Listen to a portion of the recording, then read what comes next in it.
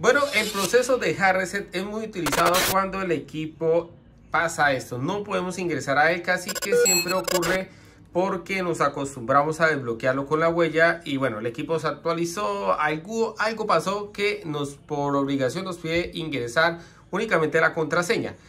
Pero para hacer este proceso, y es una recomendación que les doy, y eso no vayan a continuar si no lo tienen claro, el equipo orientador móvil para algunas recomendaciones. Lo primero para tener en cuenta, y se lo resalto con mayúscula, es recordar su cuenta de correo electrónico. Bueno, en este video, en este tutorial, es prueba orientador móvil gmail.com. Bueno, eso es otra cosa. Es una cuenta de Gmail, no es de Yahoo ni de Hotmail, y es la primera generalmente que se sincroniza.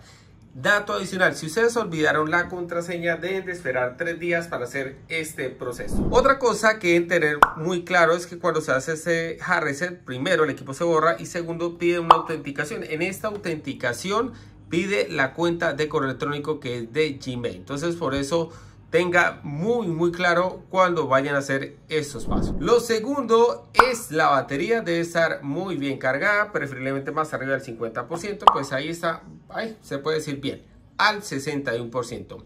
Y tercero, indicarles que toda la información de este equipo se va a perder, excepto lo que se encuentre en la SIM o en la cuenta de Gmail. Entonces, vamos a simular que no podemos ingresar al equipo desde cero. Recuerden que eso es un borrado para hacer de todo. Vamos a mantener la tecla lateral o encendido hasta que nos aparezca el menú para apagar. Bueno, ahí lo apagamos.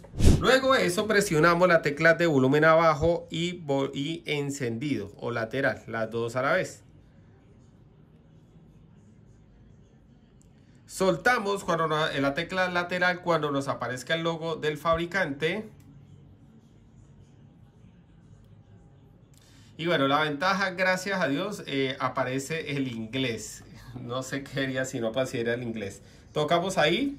Vamos donde dice formatear, eh, formatear el teléfono, que es la primera. Marcamos este código. Esto cambia. Entonces va a aparecer otro código, es normal. Y le damos formatear. Ahí el equipo, bueno, eso es súper rápido haciendo ese borrado. Le damos OK. Y el equipo se reinicia, sale ese modo recovery y vuelve al sistema normal.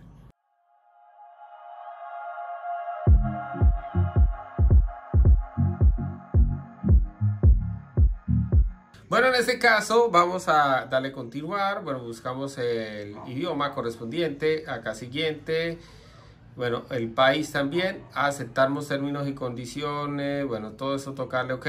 Si no, no podemos continuar y seguir adelante.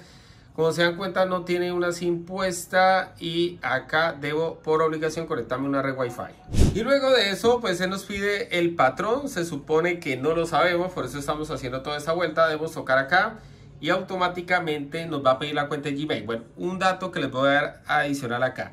Si ustedes colocan el correo y vuelve y nos manda este mismo pantallazo es por dos cosas. Primero, casi que en el 99.999% de los casos es porque no están utilizando la cuenta correcta a pesar de que piensen que sí. Y la segunda es porque no esperaron los tres días para el cambio de contraseña. Ahora sí vamos a colocar la cuenta correcta. Efectivamente coloqué la cuenta que es la correcta, le damos siguiente.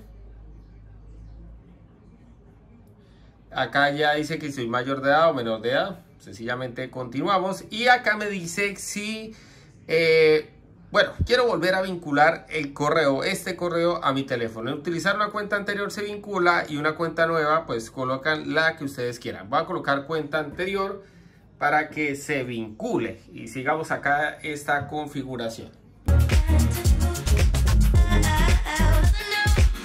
Acá en saltar, continuar, acá ver el asistente de voz, no, vale salir sin recibir recordatorio, acá vale omitir, omitir, salir sin recibir recordatorio para que sea más rápido. Nuevamente omitir acá, colocamos los botones siguiente, hecho, aceptar y listo, ya el equipo queda totalmente configurado de fábrica sin ningún tipo de información, listo para utilizar. ¿Cómo lo veo? Ahí está.